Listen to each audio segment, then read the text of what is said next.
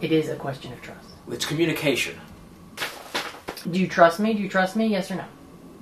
Yes. I trust you. I, I like that because it's not often that you get something that's both romantic and thrifty. So there's that going.